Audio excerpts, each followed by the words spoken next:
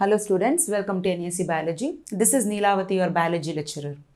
So, class 11th, second unit, organization in plants and animals. We have successfully covered two chapters, morphology as well as anatomy of flowering plants. Now we are in the third chapter, that is structural organization in animals. So students here, basically we have to cover two main topics. One is we have to talk about the animal tissues, animal tissues.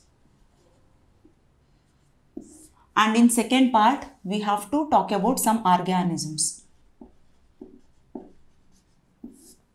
Mainly three organisms morphology as well as their anatomy we have to study here. The first one is earthworm.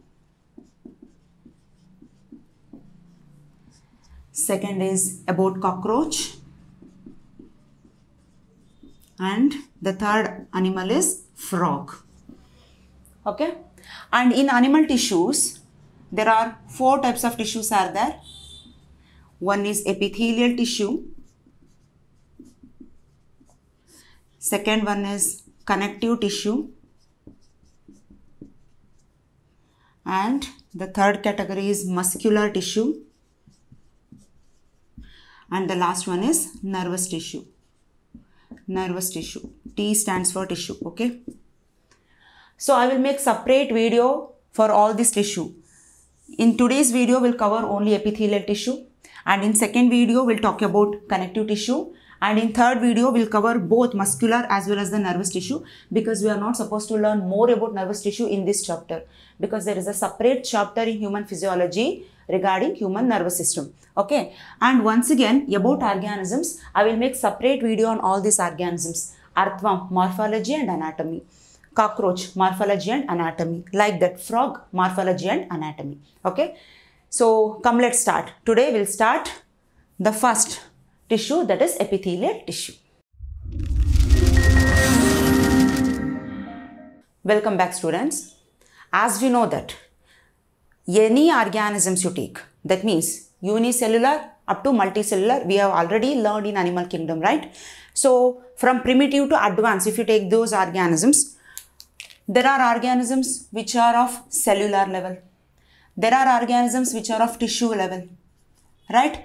There are organisms which are of organ level.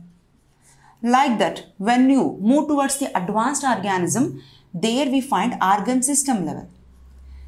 So, organ system level of organization leads to the formation of organism. Right? Organism.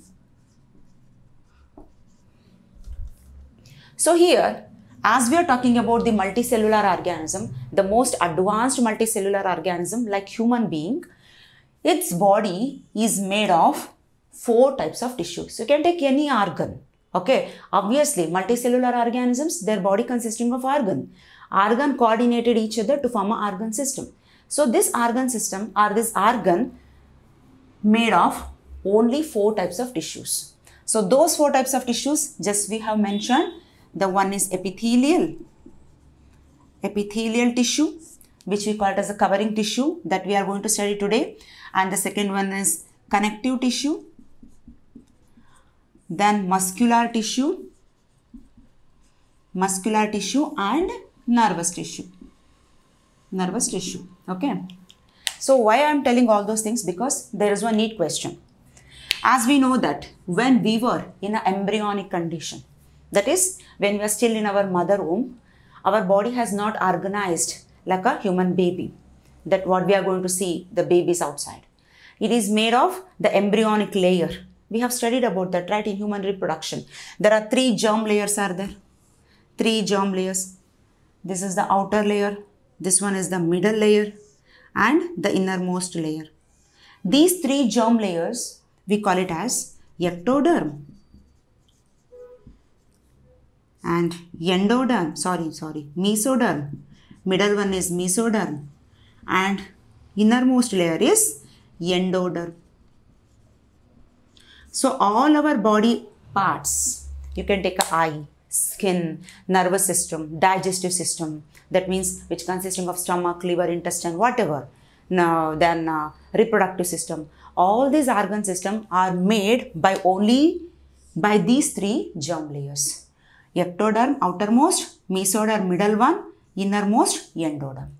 So here these four connective, sorry, four tissues are made of, that is made from these three germ layers. The nervous tissue is made from outermost layer that is the ectoderm. This is one NEET question. Which germ layer is responsible for the formation of nervous tissue that is ectoderm.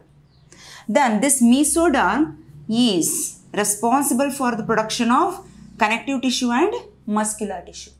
Then what about the epithelial tissue? Epithelial tissue are the special one. So that which are derived from all the three germ layers. That means epithelial tissue are produced from ectoderm.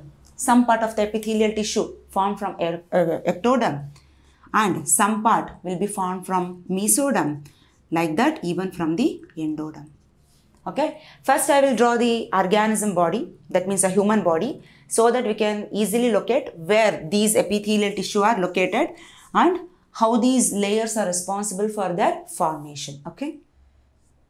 So obviously we know that yes. Here in this region we see a cavity. A cavity is present in the human body. Let's assume like that. So this cavity is what? This cavity we call it as a coelom or body cavity. Correct? Body cavity.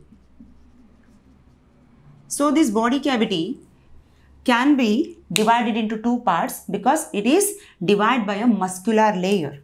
So that muscular layer which is so formed between that is known as diaphragm. This is the diaphragm which divides this body cavity into two parts. The outer that means the upper cavity is known as thoracic cavity. Thoracic cavity and the lower one is known as abdominal cavity. Abdominal cavity. Okay, have you understood this much? Now, so within the cavity as we know that there is a coelomic fluid is present. So within this body all the visceral organs are present. Say for example here your lungs and heart is situated. So let's imagine here is the lungs and here is your heart. Here is the stomach like that. This is the intestine, small intestine, large intestine okay so this is how within the body cavity all these organs are situated firmly. Now as we are talking about the epithelial tissue this epithelial tissue is called as a covering tissue because which covers the organ both externally as well as the internally. Externally means the organ which face the air that is outside the environment. So let me give you some examples so that you can easily understand it. Imagine your mom has asked you to bring some uh, grocery from the shop. So what she will give? She will give a big bag. Let's assume like that. She will give a big plastic cover. So let's assume this is a big plastic cover. Okay. So unknowingly, let's assume like that, unknowingly, in this plastic cover, there is certain water traces are present or water molecule is there that you don't know. Let's assume like this. So as this is a plastic cover, externally also it is plastic only, it is made of plastic and inside also it is made of plastic. Here also it is made of plastic. So it is not like externally it is plastic, internally if you just uh, touch it, it is of cloth. No, it is not like that. So both the side, internally and externally, it is plastic only. So what is your purpose? You have to go to grocery shop, you have to bring some uh, things. Okay. So you will go towards the shop and you will ask for 1 kg of rice. So he will packed in a, another plastic cover and he'll give you. So let's imagine this is a plastic cover which is having rice granules here. Okay, so let's imagine here is the rice. So here also in this plastic cover, both externally plastic, internally also plastic. But you don't know the water is there.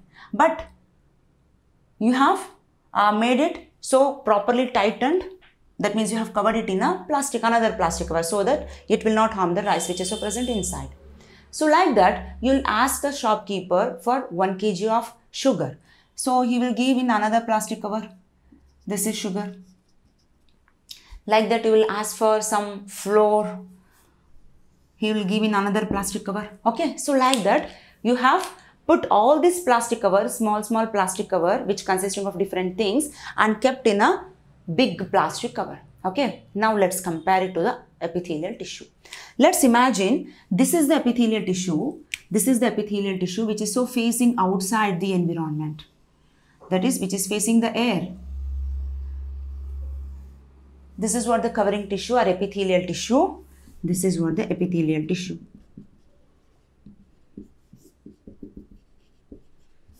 Which is facing outside. Like that, the epithelial tissue cover is here also, inside also. Correct? Inside also you can see the presence of this plastic cover. Are you getting? So like that, if you consider only this bag, this plastic cover, outside also it is a cover. And inside also, this is a plastic cover only. That means plastic layer is covered here.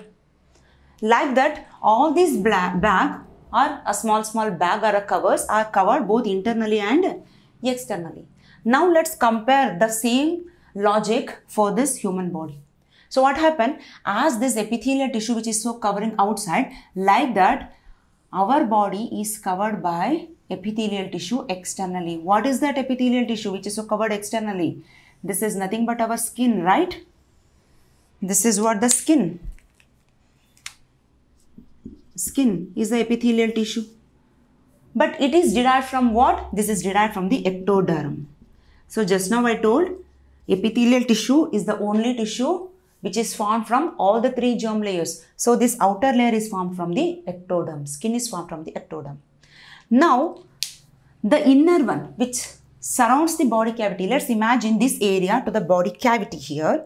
So, let me take this uh, red only. So, here it is covering body cavity.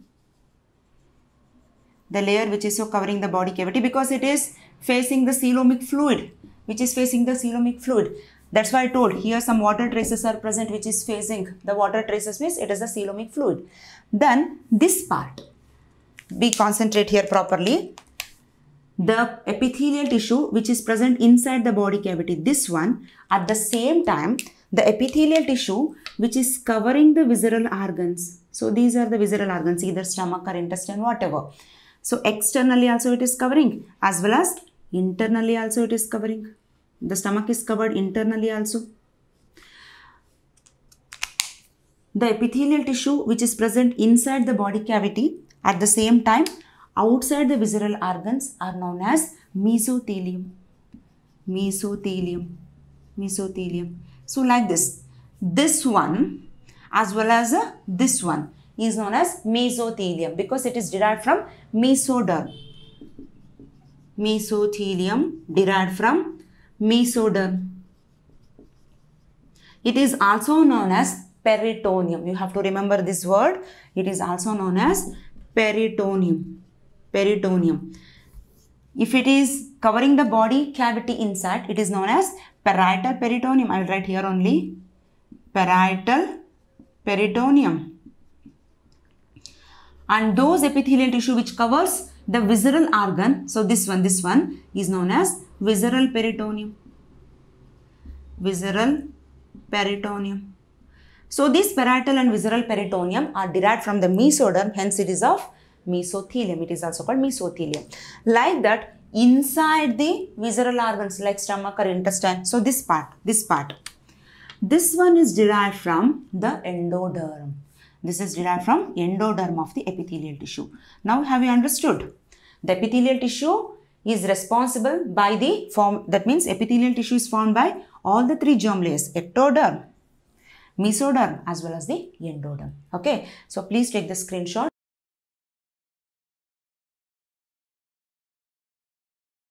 Okay, now we'll study about the characteristic feature, main characteristic feature of epithelial tissue. Now we have understood where exactly it is located in the body, inside as well as the outside. Now let's study about some characteristic feature. Epithelial tissue. Epithelial tissue are are the covering tissue covering tissue which covers the body covers the body both internally and externally. So you know the meaning of this statement. And the second one is, so these are the tissue, they have very little or shall I write, the cells of this tissue are having very little intercellular material. Very little intercellular material. So that means, see let me show you. If you consider this is the epithelial cells, epithelial cells, they do not have large intercellular material. Of course, whenever we are talking about a tissue, tissues are nothing but a group of similar cells which performing specific function. You should know the definition of tissue. Group of similar cells having intercellular material and performing a specific function or a common function. So here also similar cells are present, but the intercellular material between them is very very less, very very less. Okay. So less intercellular or very little intercellular material is present. There is no, no blood supply, no blood supply to this tissue. No blood supply to this tissue. They are attached to the basement membrane. Attached to the basement membrane. Basement membrane. So what is the meaning of this? Whenever we are talking about a cell, of course they require a nourishment, right? Suppose if you consider this as a cell, it requires glucose, it requires oxygen, then only it can produce energy that is ATP so that as a byproduct it releases carbon dioxide. But who will supply this glucose and oxygen? Of course, it is by the blood capillaries. The blood capillaries are there. So let's imagine this is the intestine. Sorry, this is the stomach and it is the intestine and all. So from the intestine, after breaking of food, that starch will be converted into small, small molecules like glucose and all. This glucose will be absorbed by the blood and from the blood it enters into the cell. So like that, whatever the air that we inhale, okay, so that air which reaches to the alveoli, are you getting my point? That reaches to alveoli and from there it exchange with the capillaries, blood capillaries. Here the oxygen will come and that oxygen will be supplied to the cell. So it require all the nourishment for its survival. Glucose, oxygen for the production of energy. Then only we can able to survive. But here we are saying that they do not have any blood supply. Then how come this tissue can able to survive? Okay. And one more thing is given that it is attached to the basement membrane. Let's see the answer to this point. See, all the epithelial cells are attached to a non-cellular, non-cellular substance known as basement membrane. They do not have any cells. Okay, you have to remember it is a non-cellular. non-cellular basement membrane. And below this basement membrane, below this basement membrane, there is a connective tissue is present. Here is the connective tissue. So let me write here. So this is the connective tissue. So connective tissue is supplied by vascular that is uh, blood vessels are present here. Here the blood vessels are present. So these blood vessels, these blood vessels that will supply oxygen and glucose to the cells through the through this basement membrane. So this is how they will get the nourishment. Okay. So they attach to the basement membrane and they do not have a blood vessels. That means they are considered as avascular tissue avascular tissue. Okay. So take the screenshot. Now we'll see the different types of epithelial tissue. Basically, there are two types of epithelial tissues are present based on the presence of layers of epithelial cells. The first one is simple epithelium. Simple epithelium. and the second one is compound epithelium. Compound epithelium.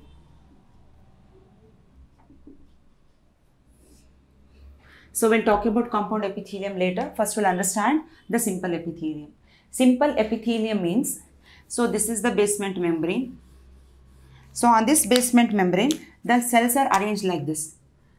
The epithelial cells are present like this, but they are only in one layer, only in one layer. We call it as a simple epithelium. Suppose if the same epithelial cells, if they are present in multiple layers, say for example, this is the basement membrane. So whenever we are writing the epithelial cell or epithelial tissue, we won't uh, mention this connective tissue. Connective tissue is very very small. It is a very soft blood supply will be there. That is very thin blood supply. So it will not be visible. So that's why we won't mention this. Just we'll mention this basement membrane. So above the basement membrane, one layer of epithelial cells are there and another layer of epithelial cells are there. So this second layer of epithelial cell do not touch to the basement membrane. So like that few more layer may be present here then we call it as a compound epithelium. But whenever we are talking to the simple epithelium, every cell, each and every cell should touch the basement membrane. Okay. So this is what the simple epithelium.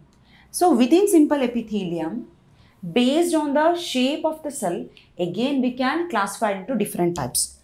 So what are those? One is squamous epithelium. Squamous epithelium. Second one is cuboidal epithelium. Cuboidal epithelium. Then third category is columnar epithelium. Then ciliated columnar epithelium. Okay, ciliated epithelium. The next category is glandular epithelium. And the last one is pseudo stratified epithelium. Stratified epithelium. So this classification is based on what? It is based on the shape of the cell. Shape of the epithelial cell. Understood? So take the screenshot, we'll discuss one by one. First we'll take the example of or uh, we'll discuss about squamous epithelium.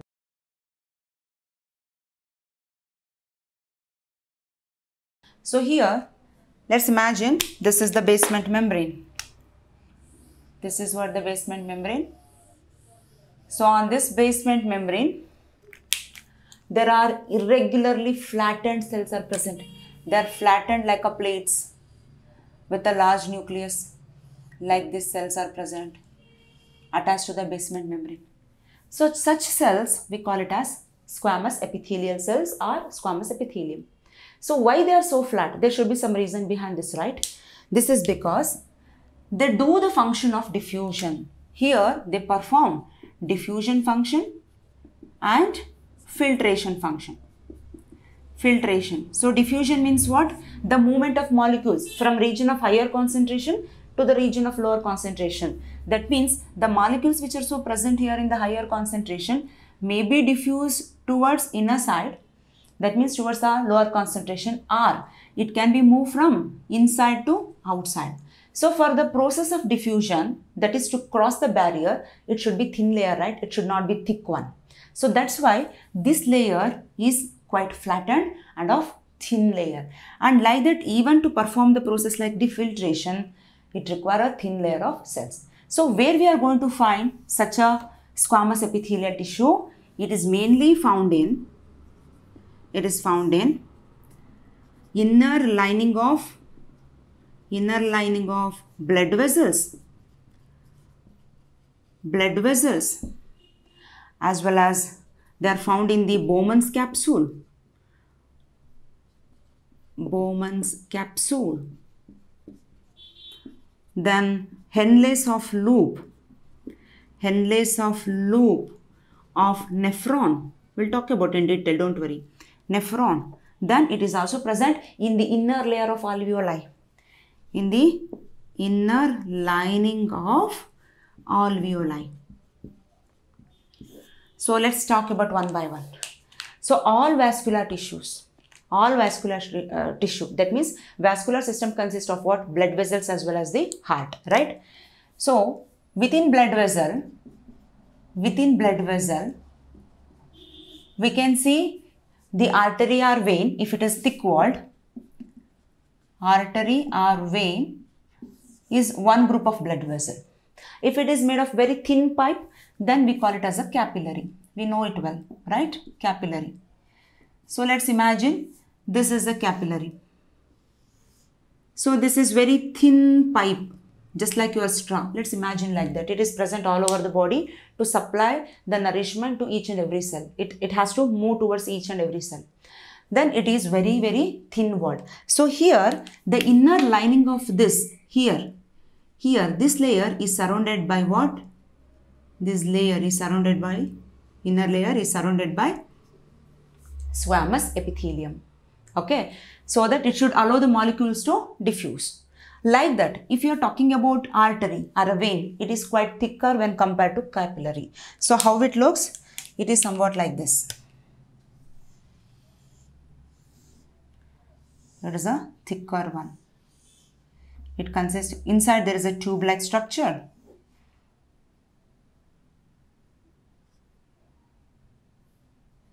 Okay, like that it will be, it will present like this.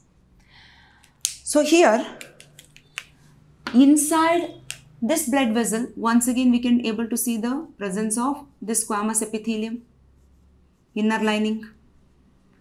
Like that, even outer lining of this capillary, sorry, this artery is also covered by the squamous epithelium.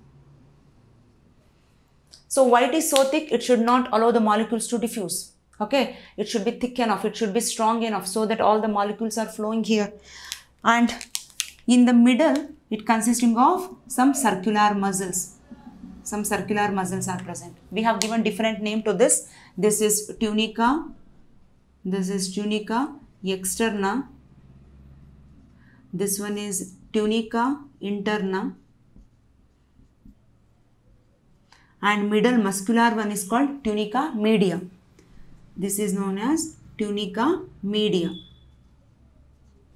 So except tunica media, tunica externa and tunica interna consisting of uh, the squamous epithelial cells. Okay. So blood vessel, even if you consider heart, heart. So even the chambers of the heart. Imagine this is the heart. There are four chambers are present. So inner lining of this heart chamber is also lined by the squamous epithelium. Okay. So here which is so lined the capillaries and inner lining of the heart this type of epithelium we call it as endothelium. This is called endothelium. Okay, now you understood where it is present. It is present in the inner lining of blood vessel. Now we'll see the answer for inner lining of alveoli so that we can get the link how the molecules will get diffused. Take the screenshot first. When we inhale air, that is oxygen, it has to pass through this respiratory system and this bronchi will be branched out like this, bronchioles and here is the lungs here is the lungs and here it consisting of many branches and finally that ends in a sac-like structure. We will study in detail when we are talking, uh, talking about the respiratory system of human. Okay, so this structure we call it as alveoli. Suppose if I just enlarge this, this part of the alveoli, how it looks? It looks like this. Okay, so this is the alveoli. So inner lining of this alveoli once again is made of this squamous epithelial cells. Squamous epithelial cell. So whatever the gas that you inhale, that is the oxygen, it has to exchange with the blood capillaries. The capillaries will be present here. The capillaries are also lined by the squamous epithelium. Just now we have seen. So it carry carbon dioxide from all the body parts and there it diffuses into the alveoli and it will take the oxygen to supply to the body parts. So for this process to happen, that is the diffusion process to happen, it should be a thin wall. So that's why inner lining of the alveoli also consisting of thin wall squamous epithelium. Now we'll see how it is present in the Bowman's capsule or in Henle's loop. So Bowman's capsule is a part of nephron. You know nephron. Nephron is a structural and functional unit of kidney. So in the nephron itself, the process of urine formation takes place. Filtration, absorption, collection, everything is takes place within the nephron. We'll draw the rough diagram of nephron. Then we'll come to know where exactly this Bowman's capsule located and loop of Henle. Take the screenshot.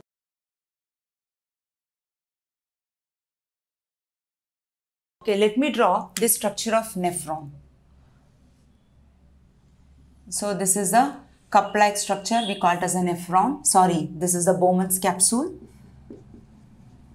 This is Bowman's capsule. And here it show many convolutions like this. This is known as proximal. It is near to the Bowman's capsule. We call it as proximal convoluted tubule, PCT in short form, PCT. Like that, there is a U-shaped structure is present this is known as Henle's loop. Henle's loop. And this Henle's loop further shows many convolutions like this and leads to collecting duct. So this one is away from this uh, Bowman's capsule that is distal convoluted tubule, DCT, distal convoluted tubule. Now let's imagine the blood capillary is there this blood capillary is carrying all the material because it has to remove all the unwanted material like a urea and all nitrogenous waste. So not only nitrogenous waste will be removed through the urine, the water molecules are also formed, right? So water molecules are also eliminated. So all the water along with the urea, along with certain glucose and essential material that will be collected here. So it has to filter here. So for the filtration process, it should be of thin layer. So that's why the lining of this Bowman's capsule consisting of a thin layer squamous epithelium. Okay, of course we know that even in the capillary, the squamous epithelium is present. So this is one region where we can find the squamous epithelium. And now here PCT and DCT maximum absorption process takes place. But here this squamous epithelium do not carry the process of absorption. That's why it is present in this region that is in the Henle's loop. So here we find the squamous epithelium. Okay? Understood? So what is the main function of squamous epithelium? Performing diffusion as well as the filtration. That's it. So all the water molecule will not be eliminated because it collects a lot of water molecules in the Bowman's capsule. But the most of the water molecules will be absorbed here along with certain essential molecules like a glucose, iron, sodium, potassium. Everything will be absorbed that will study in the cuboidal epithelium. Okay, that process of absorption, secretion, that work is carried by cuboidal epithelium. It is not done by the squamous epithelium. So this is what about the squamous epithelium. Now we'll study about the another epithelium that is cuboidal epithelium. Please take the screenshot.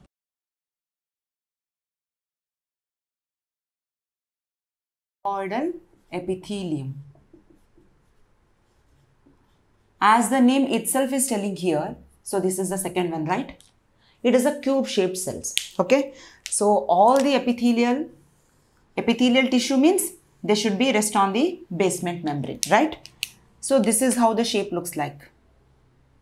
Somewhat cube, ice cubes. Have you seen the ice cubes? It is like that only. Okay. So let me write here only the columnar epithelium so that we can compare it easily. Columnar epithelium. Once again, column-like cells sorry, called columnar. Here is the basement membrane and over which a long slender cells are present okay, column like. The nucleus in the columnar epithelium situated always at the base here. Okay, so here also the nucleus is present. So what is the main function? In squamous epithelium tissue, we studied that it carried the function like diffusion and filtration, right? So that's why it is a flat plate-like structure so that molecule can easily diffuse. It can cross the barrier.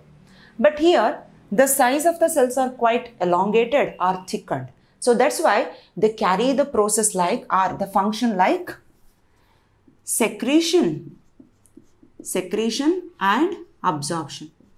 Secretion and absorption is the main function, is the main function of these two epithelial cell. It is very, very important. You have to remember it. Diffusion and filtration, squamous epithelium. Secretion and absorption, columnar and cuboidal epithelium. So what do you mean by absorption? So all the molecules which are so absorbed, it should have some space, right? So that's why it is absorbing inside itself as the cells are quite larger compared to squamous epithelium. And secretion. Secretion means here we'll see the uh, word like a glandular epithelium. Already we, uh, that means I have written it on the board. So this glandular epithelium is a form of epithelial tissue only. So it secrete uh, certain substances like enzymes, hormones. So those secreted cells are also nothing but cuboidal and columnar epithelium only. That is glandular, glands. So they start releasing all the secretions wherever it is required. We'll study it now. Okay. So first let's focus on cuboidal and columnar epithelium. Suppose, just imagine it is present in an area where it has to absorb lot of material. Say for example in nephron. I said in the Bowman's capsule all the water molecules and urea that will be diffused along with certain essential molecules. But all these essential molecules should not uh, should not be removed through urine. It has to be absorbed. So there the process of absorption should be more. That time this cuboidal epithelium will be modified in cytoplasm. That means Let's imagine this is a cuboidal epithelium. It is like this. Its a cytoplasmic surface will be modified into finger-like projection like this. Like this. Okay. So let me show one more. One more cuboidal epithelium. And here also it shows a finger-like projection. Finger-like projection. So these finger-like project, this is the what? Basement membrane, right? These finger-like projections are nothing but microvilli we call it as microvilli. Okay. And such cuboidal epithelium which are having this microvilli at its tip, we call them as brush border, brush border cuboidal epithelium. Cuboidal epithelium. So why it is modified into brush border? Just to because absorb more and more substances. Here also absorption process is carrying but here to carry more absorption, it has been modified like that. Modification means it shows a finger-like projections. That's all. And here also in the case of columnar, the same thing will observe. So this is the basement membrane. Basement membrane over which the columnar cell, if they have to absorb more substances, then it will be shows finger-like projections. It is a cytoplasmic projections. It is not a separate air-like. Don't get confused with the ciliated epithelium. Cilia is separate, microvilli is separate. Microvilli is a cytoplasmic modification, that's all. That means cytoplasm itself shows large area by folding that is by showing infoldings. But micro, sorry, ciliated means there is a hair-like structure that present from the tip. There is an outgrowth that I will show you later. So here is the nucleus. So once again, the same thing to absorb more material, to secrete more substances. Okay, so this is what the main function. Now let's see where this cuboidal and columnar epithelium will be located in our body. Take the screenshot.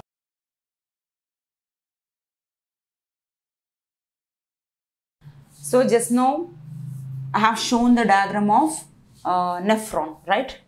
So let me draw the same here. So this is the Bowman's capsule, right? It shows proximal convoluted tubule.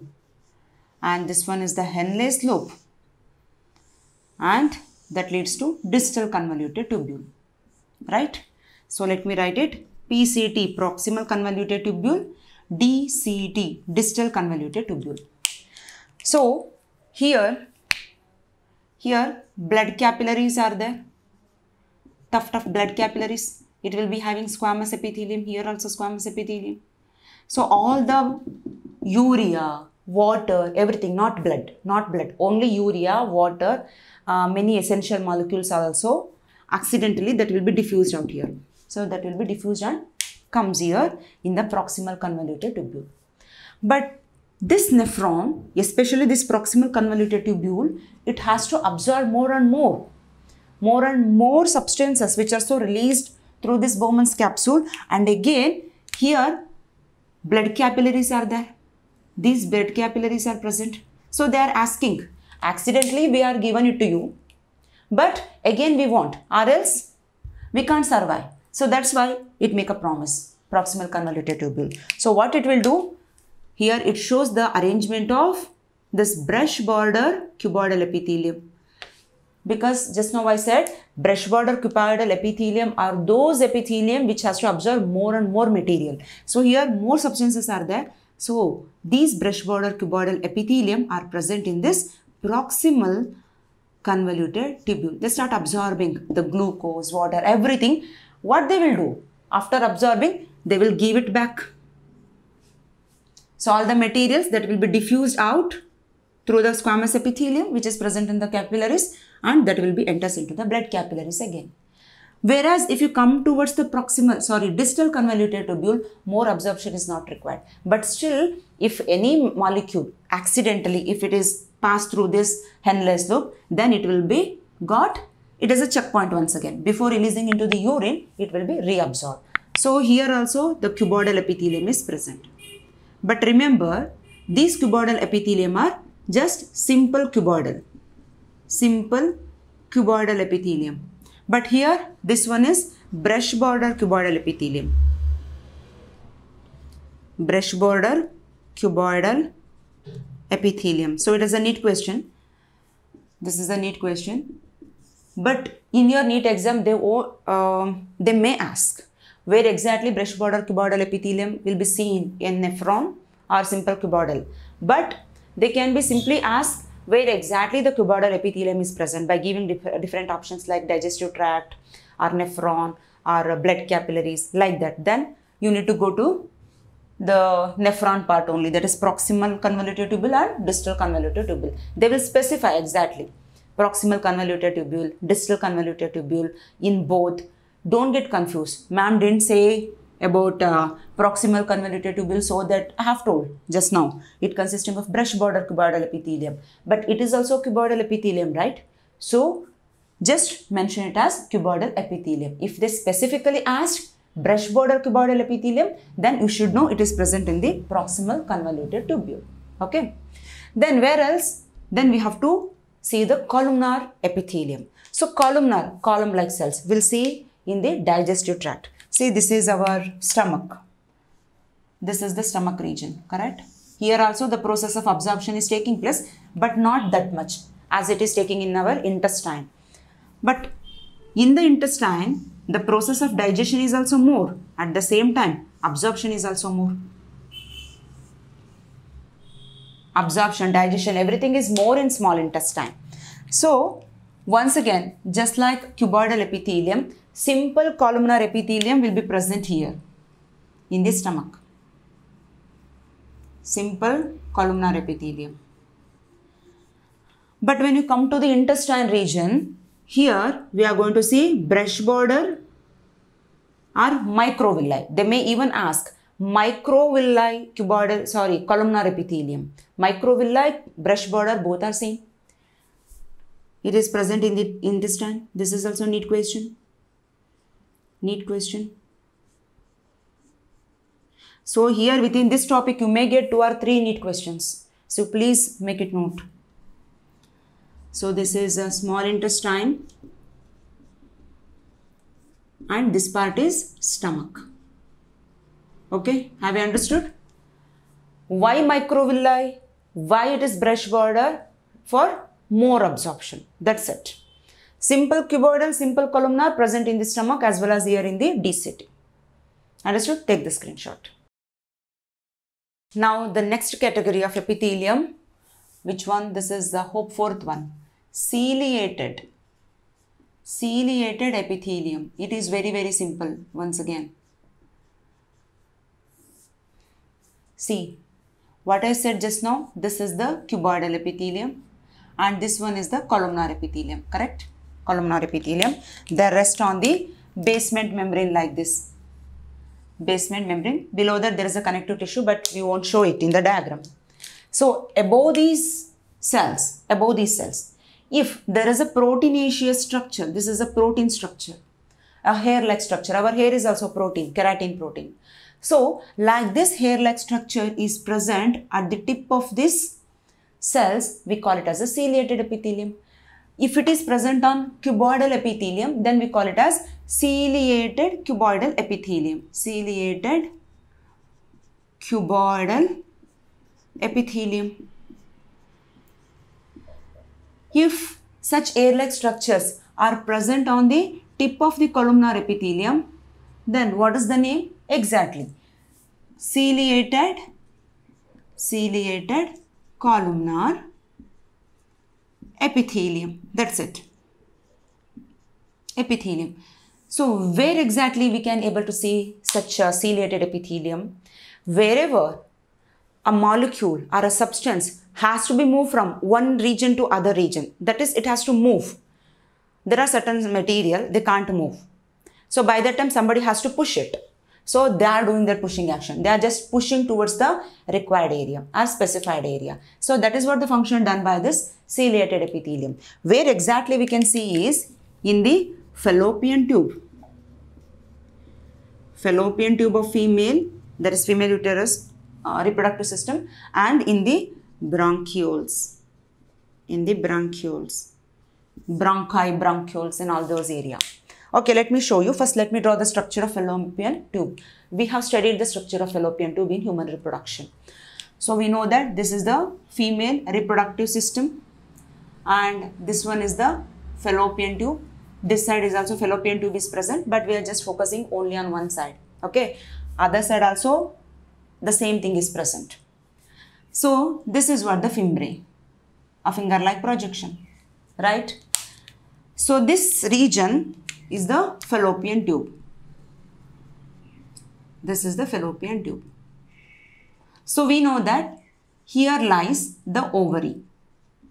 Here lies the ovary. So every month from the ovary, the ovum will be released. That we know well. So the released ovum will be sucked by these are finger-like projections, finger-like. They will be keep touching this ovary. So whenever the ovum is released, they just suck it. Okay. So through the suction force that will enter, that means it will enter here inside the fallopian tube. But, so this is nothing but the ovum or the egg. This is the female gamete. For the process of fertilization, it has to fuse with the male gamete that is the sperm. Okay. Let's imagine here is the sperm. Here is the sperm. It is waiting for the female gamete. It can't move up to here. The sperm will just stay here only. This is the ampullary isthmic region. That is the fertilization process taking place here. Now, the ovum has to come towards the sperm or the ovum has to be waiting here. Then the sperm may enter at the time of fertilization. We have studied it. So, how come it is able to move up to here? Because it is a non-motile. Only sperm is the cell in the human body which can shows the movement. There is a motile, motility. So, what happened here? There are columnar columnar epithelial cells are present which having cilia on its surface. So like this. So these are the cilia. Okay. So like that it will be present throughout the fallopian tube like this. Just imagine. So on its surface it is having the cilia. Okay. So with the help of the cilia as it is coming here as this ovum coming here, they will just push it towards the ampulla region. Okay. So it will just push, it will take a movement, then it will come near to this sperm. Or just imagine sperm may not be there. Every time sperm may not be present here. So the ovum has to be present here only. So this movement is done by the ciliated epithelium in the case of fallopian tube. Then where else we can see in the bronchiole that is in the bronchi part of the respiratory system. So we know that we know that so when we inhale the air when we inhale the air so we not only inhale oxygen not only gives out carbon dioxide, along with the oxygen will also intake some dust particles, small, small pollen grains that is not required by our body. But we will inhale it. So what happened? It has to pass through this pipe. It has to pass through the windpipe. So let me enlarge it big. It is not that much big just to show you how exactly it will be located. I am just drawing it bigger. So again it will be branches furthermore. Again it will become bronchiole, bronchi, bronchiole. So like this further it will get branch like this. Okay. So let's assume here the dust particles everything is coming. Dust particles, pollens, also unwanted things. Here at the tip there are certain glandular cells are present unicellular glandular cells. So these glandular cells, they release the mucus. They release the mucus. Okay. So this mucus will attract. Attract means mucus is somewhat what sticky, right? It is a sticky substance. So to this sticky substance, these dust particles and all that will be get mixed as they become. It cannot pass down. Okay. So below that, below that, here the columnar columnar ciliated cells are present. So it is not allowing this mucus to pass down it. Okay. So the mucus will get stuck here only. It will be moves up. It will be, it will be just pushing upside so that we can spit it out as a sputum or sometimes it may enter into the digestive tract. Okay. There is an opening here. Digestive opening will be present nearby only. So when we ingest this sputum, that means the mucus, don't worry, it will be get uh, the acid will be present in the stomach that will be get degenerate degenerate it's not a right word it will get uh, melt out okay the mucus will be melted out by the acid acid of the stomach but this ciliated epithelium will not allow it to go down. It will just push upwards. So here so these are the two places where we can see the ciliated epithelium. Understood? Take the screenshot. Okay now let's talk about glandular epithelium. So glandular epithelium can be classified into two categories. Actually based on number of cells again we can classify the glandular epithelium into two categories unicellular glandular multicellular glandular. So before understanding that we need to study about these two types because whenever we hear the term glandular, we have to remember that they have some secretions. Either it is the earwax. Earwax is nothing but a glandular tissue. We'll get earwax in the outer ear. That is that will be deposited. And we know saliva. Saliva will be keep present in our mouth. It keep our mouth moist. This is because of the salivary gland. Milk that will be comes from the mammary gland, right? So oil will be secreted on our face. That is by oil gland. Sweat will be present that is through sweat gland. So these are all the secretions. If these secretions are released into the target place through a specific duct, duct means the pathway. Suppose if you know the road, if you are moving in a specific road, already we knew it, then that is nothing but it is a exocrine gland. Here also the secretions are moving in a duct. That pathway is nothing but the duct. Whereas the other type of gland, other type of glandular tissue, we call it as the endocrine gland. There, the secretions do not move in a definite pathway. They do not have any duct. They simply released into the blood and then through the blood that will reach us into the target place. Okay. So, we'll see it. So, the two types of glandular epithelium are exocrine gland, exocrine gland and another one is endocrine gland. Endocrine gland. Once again, it is also important. Exocrine gland. The glands with the duct. The glands with the duct are called exocrine gland. They have a duct. They have a specific pathway. And they release their secretion. They release their secretion on the surface of the cell. Surface of the cell. So first let me write few differences here. Here endocrine gland is one. These are the glands without duct. These are the glands without duct. Here they release they release their secretion. Secretion directly into the bloodstream. Directly into the bloodstream. We'll understand the meaning of this sentence. Wait. Wait we'll understand it. So what i said? With the duct. Say for example let me take the example of a salivary gland. Okay uh, okay, let me take the example of a stomach so that we can understand it easily. So this is the stomach and in the stomach we know that there are uh, gastric glands are present. Okay. So these gastric glands looks like this. These gastric glands are look like this.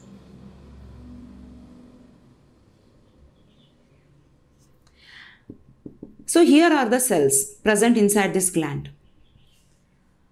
Let me enlarge this part enlarge this part. If I just enlarge it, here is one gland. There are so many glands are there. I have just taken only one gland. At the base of these glands, we can able to see the presence of cells. So these are all the cells. So these cells have some secretions, either it is a mucus or whatever. Suppose if I am consider this as a salivary gland, then obviously here the cells are secreting the saliva, right? So the saliva that will be present in our mouth. So these saliva, where they will go? They will be dumped here into this cavity in this region. Then it will move towards a specific pathway. This line, what I have drawn, this is nothing but the duct. This is the road. And that will be released on the surface of the cell, cell surface. Suppose if you consider this is a sweat gland. There are so many cells are present here. The sweat will be released. Sweat is nothing but the secretion.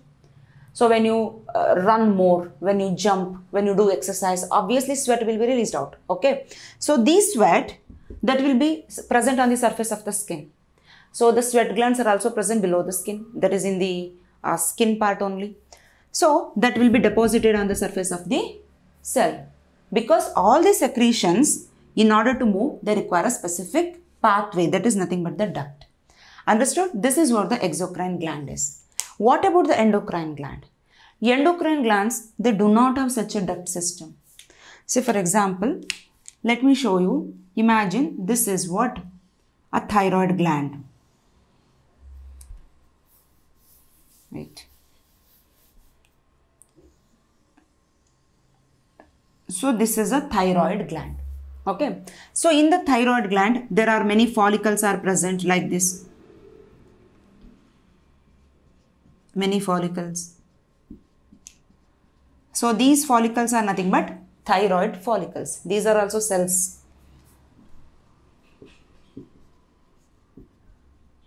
Thyroid follicles. So what happened? As we know that, as we know that, this is the artery. This is the artery. This artery will be branched out into many capillaries like this and these capillaries once again will continues as a vein. So this is the vein, this one is the capillary, this one is the artery. So this is nothing but the blood vessel. So inside this capillary, obviously blood is present. So here is the blood, here is the blood, here is the blood. So what happened? The material which are so present inside the capillaries of the blood that will be dissolved in a circula closed circulatory system, especially in higher organisms the blood vessels or the blood will not directly come into the contact of the cells. Correct? You know it well. So, only secretions will be comes out. Sorry, not secretions. Only the required substances will be comes out. That will be diffused out. So, that's why capillaries are very thin in structure. So, these materials like oxygen, glucose, ions, minerals, whatever, whatever be the substance which is so present in our blood, okay, that will be released and that reaches to the cells. So this fluid, we call it as a tissue fluid. This is the tissue fluid. So here also, let's imagine these are the thyroid follicles. These are nothing but the heart, sorry, glands. So these thyroid glands, they start producing, releasing the hormones here in this area. So these hormones, which are produced by the thyroid follicles of the thyroid gland, that will be enters and mixes with the tissue fluid again from the tissue fluid that will be absorbed by the blood capillaries. Okay. So wherever it is required, to the target area that will be given through the capillaries only. It is not having a specific pathway like this, right? It is not present on the surface of the skin or surface of the cell. They are directly entering into the bloodstream.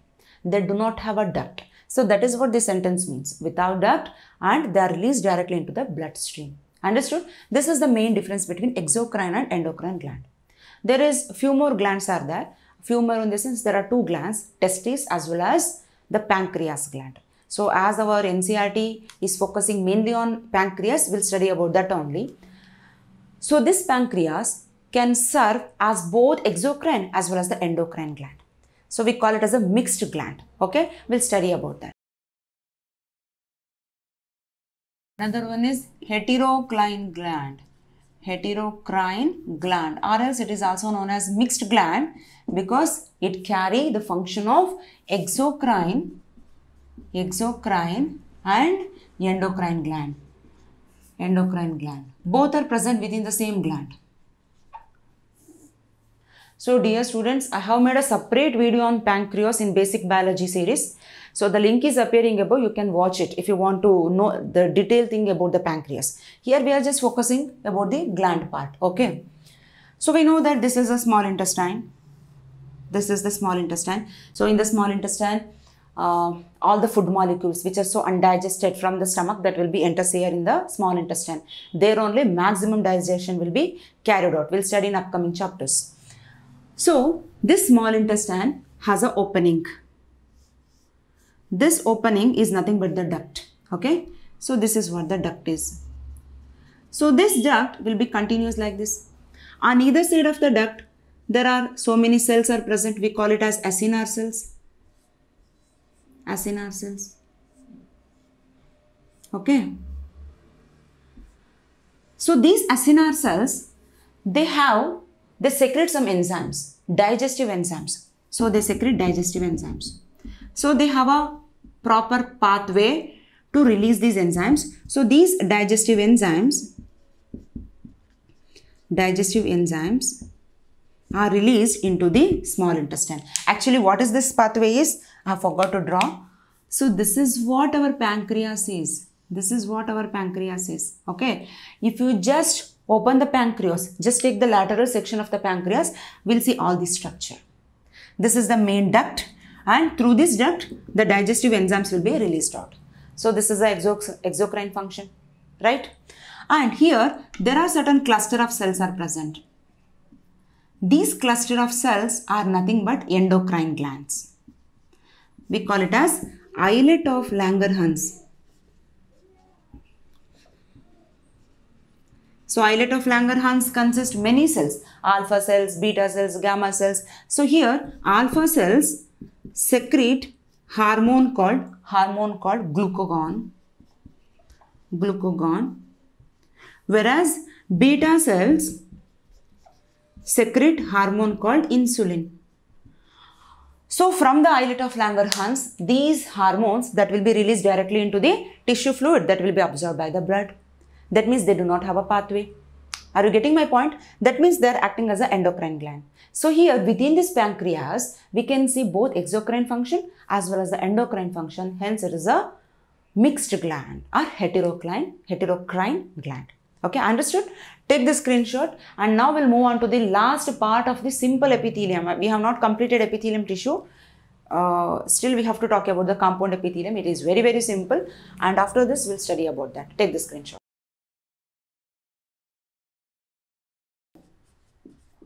Pseudo stratified epithelium. Epithelium. So this is the last part of simple epithelium. Simple means what? The cells which are present only in a single layer. That's it. Here pseudo means false. Pseudo means false. Stratified means layer. Layer. Epithelium. That means here we can see many layers of epithelium but they are not actually the true layer. Okay so that is what this word indicates. As we know that this is what the basement membrane over which the columnar cells are present like this. This is the columnar cell. Remember, whenever we are talking about the simple epithelium, all the epithelial cells, their base should touch to the basement membrane. if it is one cell, then its base should touch to the basement membrane. Then only it is a true epithelial cell. Okay.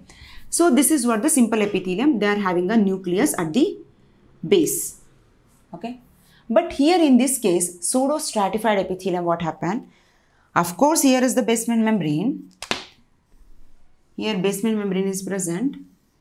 But this columnar epithelium, they are not showing of only one size. Some columnar cells are quite longer, some cells are short, some are long, some are short, some are long, are short, long, short, long, short, long, short. So like that they are arranged. But all these cells are separate cells only. All these are separate. They are not present one above the other. Okay. And obviously they have a nucleus at the base. But here the shorter cell, they are having a nucleus still at the very base. Like this. Like this. Here, here, here, here, here. At the base. If you consider this is a long cell, the base of this cell looks like here. Look like this. The nucleus will be appears here. Suppose if it is a short cell, obviously the base will be below than this. Correct? So, such epithelial tissue, when you observe it under the microscope, the cells you can't see. You can't see the cells. But only thing is you can see the nuclei. Okay. But here the nuclei are seems that as if they are arranged in a two layers. But actually it is a single layer only. But we will get confused. That means it depicts that as there are two layers of cells are present. So the nucleus which is present in one layer, this is one layer of cells and another layer which consisting of another layer of cells are present above this but it is not true all the cells base are attached to the basement membrane so that's why we call it as a false epithelium that is false stratified epithelium that is the name pseudo stratified epithelium okay so where these cells are present okay one more thing suppose if these cells are showing some cilia that is long columnar cells then we call it as a pseudo stratified or pseudo ciliated stratified epithelium. That's it.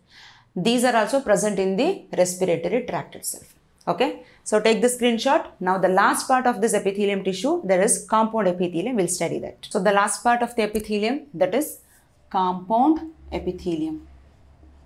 Compound epithelium. So whenever there is a term compound means that is nothing but the stratified. They are present more than one layer. So this is the basement membrane. This is the basement membrane on which the cells are present in more than one layer. So this is one layer of cell which is attached to the basement membrane. Nucleus is present. One more layer is present but this layer is not attached to the basement membrane. It is present above this layer. Okay. So like that one more layer is present. So like this, many layers of cell we can able to see in the compound epithelium. If it is many layer of squamous, then it is a squamous stratified epithelium. Many layer of cuboidal cell, then cuboidal uh, stratified epithelium. Many layer of columnar cells, columnar stratified epithelium. Compound epithelium, stratified epithelium, both are same. What is the main function of compound epithelium? As there, it is a common sense question as they're present in more than one layer, definitely they can't do the function of diffusion, right? They can't do the function of diffusion, so it is not. And they can't even do the function of secretion. They can't do even the function of absorption. But of course, they can do, but it is not such a large extent as we have seen in the case of simple epithelium. Then what is its main function? Its main function is to protect is to protect. That is the protection. Multi-layered, that's why it is a protection. Okay. See, I will simply give you an example. Where exactly we require the protection? Outside, right? Not inside.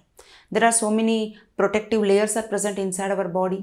That means all the organs are well protected if we are requiring protection, obviously we have to face the problem which are present in the external environment. So that's why we require more protection to the external environment. That is external epidermis or external epithelium cell.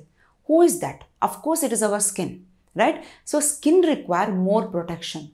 Then obviously the skin part is nothing but the compound epithelium, right?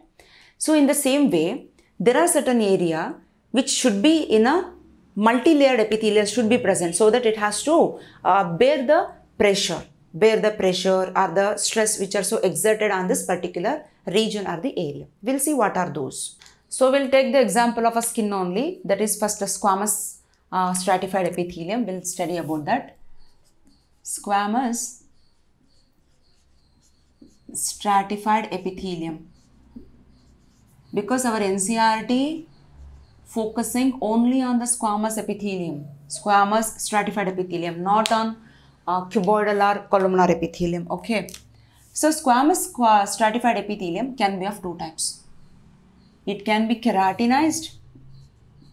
It can be keratinized, keratinized squamous stratified epithelium or non-keratinized, non-keratinized squamous stratified epithelium. So what do you mean by keratinized, non-keratinized? We'll see the meaning of this first.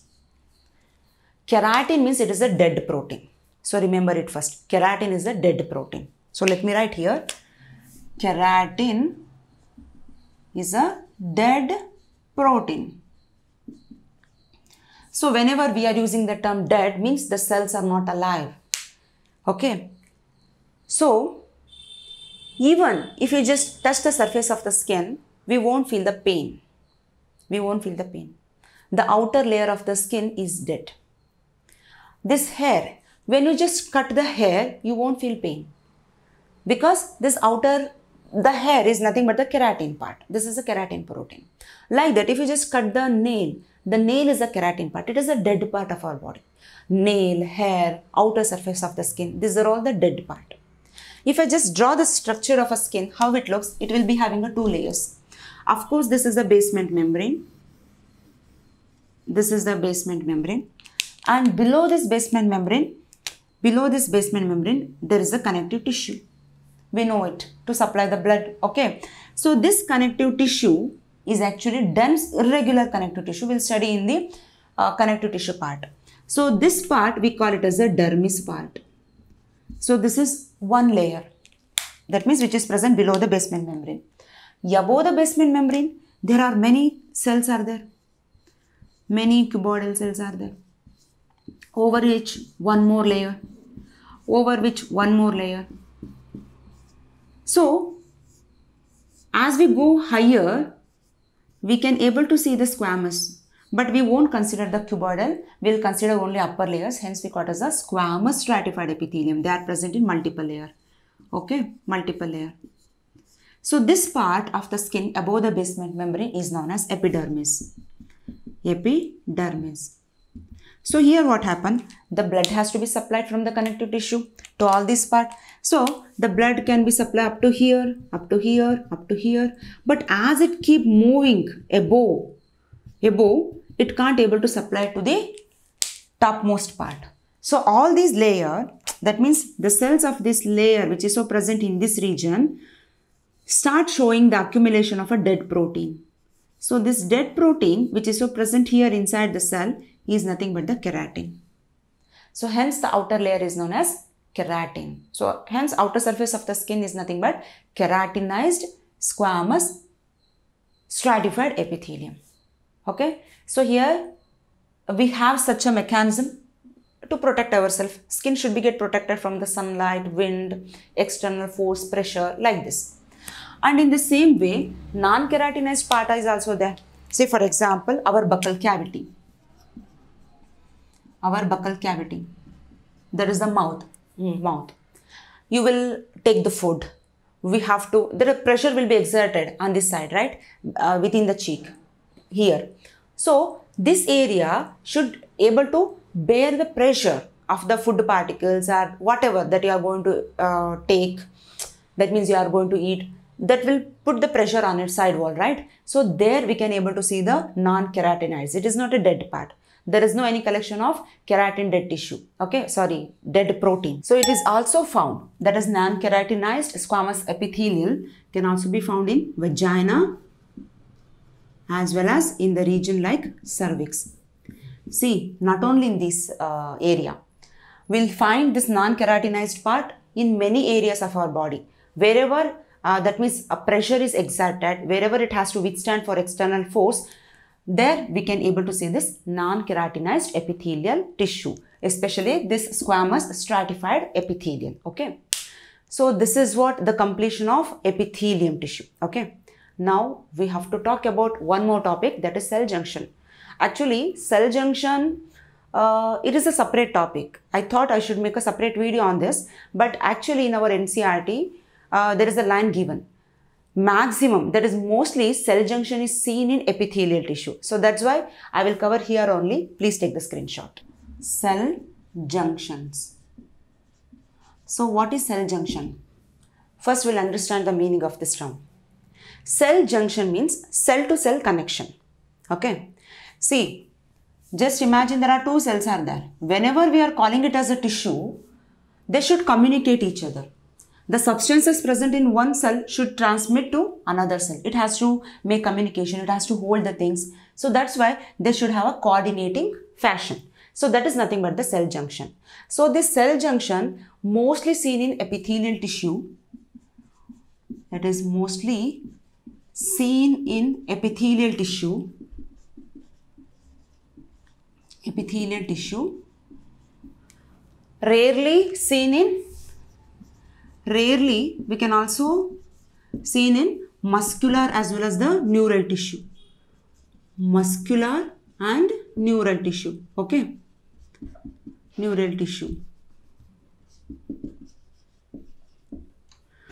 So totally there are four types of cell junctions we can see. We'll see what are those, okay? The four main types of cell junctions are, one is tight junction, tight junction, J stands for junction, okay? Then gap junction, adhering junction, adhering junction and desmosomes. Desmosomes. So let's see how they are communicating each other in these cell junctions. Okay, let's assume there is a classroom. So in that classroom, the students are sitting. So in one bench, what happened? The two students are here. The two students are sitting.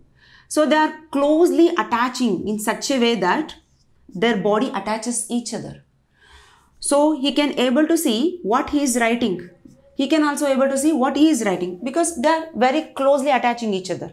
That is one type of cell junction. So I will explain what exactly happening here.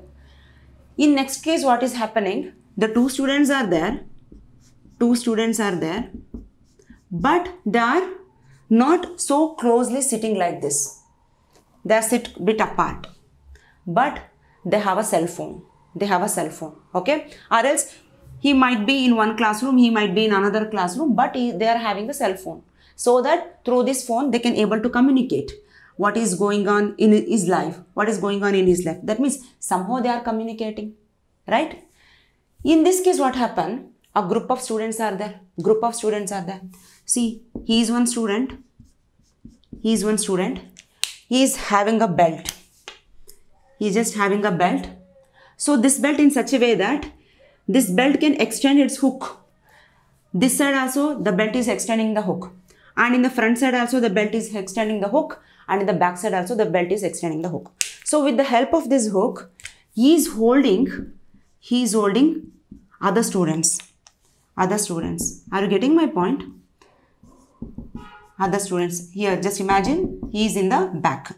Like that, these students are also having the belt from their belt, once again the extension are coming. So they are holding each other hand. They are holding each other's hand. Just imagine if I am just wrapping a belt. From that belt, the hooks are coming out. So with the help of those hooks are just imagine my hands. I am just holding other's hand. So like that, in all the four corners, if I am able to hold a person, we are in close contact each other. We can't able to uh, move from, uh, that is from each other, right? So like that such a tightly they are holding but not their body has been attached but here some belt is attaching them. Are you getting my point? And here in this case, desmosomes case, what is happening? The students are sitting in a row. The students are sitting in a row like this. In this way itself, they are also having a blood, sorry, belt but the extension of this belt can able to hold this person only in one side or this side. Just imagine I am extending my two arms and holding two persons. Like that, somebody standing there, he is also holding my hand, that side. Like that, this right side also, another girl is there, she is holding my hand. Are you getting my point? So like that, each are holding only in on either direction, not in all the four corners. So now let's compare this scenario to the cells, how it looks. Very, very simple students. Okay, biology itself is very simple, but only the thing is we need to understand properly. That's all. Okay, let's see. Let's compare the same scenario. This is one cell. This is another cell. This is another cell. So both cells are tightly attaching each other like this. Let's not bother about it, how they are attaching, but they are tightly attaching each other so that they can able to communicate. They can able to communicate. So this is known as tight junction. So why it is to be present in the cell? Just to prevent the leakage. It is, it is to prevent leakage. Leakage. Say for example, uh, if a person has took some antibiotic or let's take the example of a stomach only. In the stomach, the cells are present. So these cells, they are contacting each other or they are communicating like this tightly so that the acid molecule HCl cannot be able to leak through this cell. It should not harm the walls of this stomach. So like that they are tightly attaching each other just to prevent the leakage. So this is the tight junction, such type of cell junction. And here in the gap junctions what happened? The two cells are there. Two cells are there but they are not so tightly attached like this. But they have a cytoplasmic connection. From here to here there is a cytoplasmic connection is made. Okay? So like that from here to here the cytoplasmic connections are made. Are you getting my point? Just like a phone so that here all the molecules like a big molecule small molecules everything can be transmitted to this cell in the same manner from this cell, all the ions, molecules, everything can be transmitted here. So this is known as gap junction because there is a gap between these two cells. So what is their motto? Why they are like this? Just to, because they can transport, they can transport the ions, small molecules, small and uh, big molecules. Big molecules or essential molecules can be transmitted through these cytoplasmic connections. So what is happening in adhering junction? This is to help or cementing the cells, tightly bonding the cells each other. So very simple. Here is one cell. So this cell is having a protein plaque. So this is a proteinaceous substance. We call it as a plaque. Okay. It is present in all the four corners, just like a belt. We call it as a plaque. Okay? Let me name it as a plaque. Wait wait. Where shall I write? This is the plaque. So what happened? From this plaque there are certain extension is coming like this from all this plaque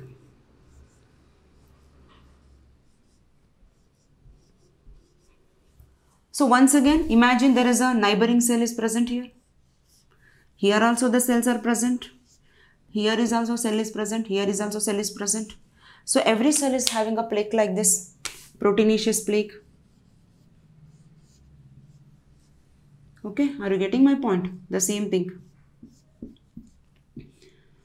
So all this plaque shown the extension. So shown the extension, they are just holding each other. They are just holding each other's hand. Like this.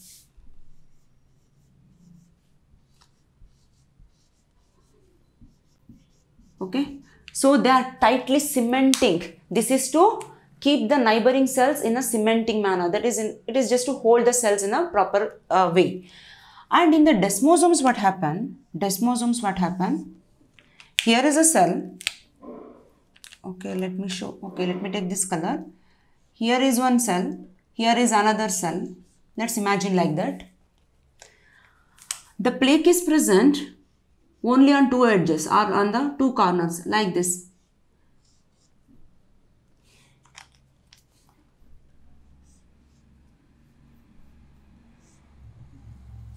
Okay. Now the extension is coming from here, from this end also. This cell is also showing the extension. They are binding each other. The same function. Okay. So the same thing. It is not holding the cells in that is in all the four corners. Only in the two sides. This is known as desmosomes. Both the case is same to hold the cells, to cementing the cells. That's it. So these are the four types of cell junctions which can be seen in mostly the epithelial tissue but rarely these uh, adhering junctions and desmosomes we can see gap junctions even can be seen in the neural tissues and uh, muscular tissues also. Okay? Take the screenshot. Uh, wait i will write here only the hemidesmosomes. Hemidesmosome.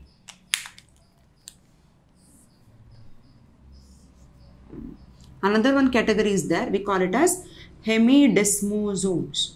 It is very very simple. It is not actually a cell junction it is not a connection between cell to cell but it is a connection between cell to basement membrane. See we know that these are the cells epithelial cells which are rest on the basement membrane right? So let's imagine this is the basement membrane. So what do you think? How the cells are attaching to this basement membrane? There should be some uh, structure right to hold this basement membrane properly right? So that structure is nothing but these projections. So here also we can see the presence of presence of this plaque. And this plaque shows some extension. With the help of this extension they can hold the basement membrane like this. They're able to hold the basement membrane. So this is not actually a cell to cell connection. Here we are not seeing the connection between the cells. But it is the connection between connection between cell and basement membrane. Basement membrane so take the screenshot so hope you like the video and understood the complete concept of epithelial tissue. If you like the video, hit the like button and do share it with your friends and do subscribe to our channel. In the next video, we'll talk about the another tissue that is connective tissue. Thank you.